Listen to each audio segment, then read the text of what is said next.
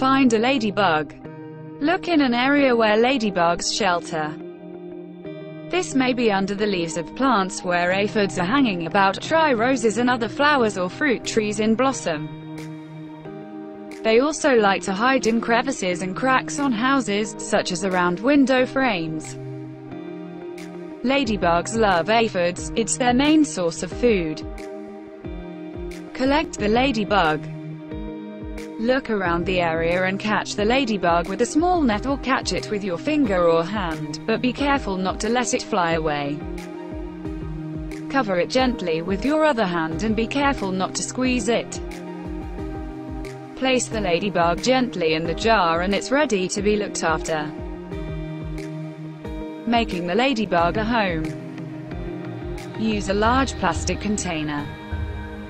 The container should allow room for flying about and settling down to sleep.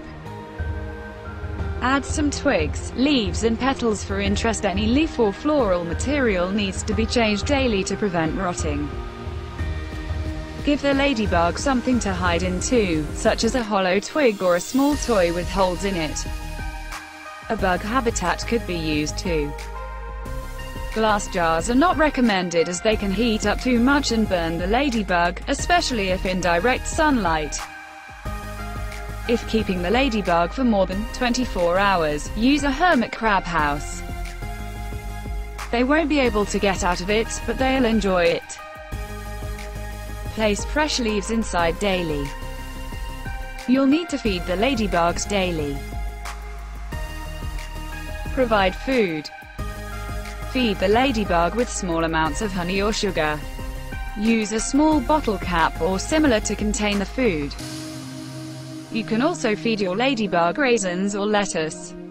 Add a piece of bark from a tree. Bark from trees tend to have bug larvae. Your ladybug will spend most of its time on and under the bark. Give them water. Do not use bottle caps for giving them water. Using it will increase the chances that your ladybugs will drown on it. Use wet paper towels or cotton balls instead. Feed the ladybug twice a day. Don't give it too much, just a little. Be gentle when holding a ladybug. Here is how. Lower your finger and leave it near the ladybug.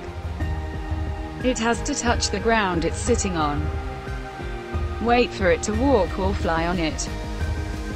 Now you are holding a ladybug, but be careful. Consider releasing the ladybug back into the wild after 24 hours. After you've had time to observe its habits, then let it get back to the job it has to do, which is keeping the pests down in your garden.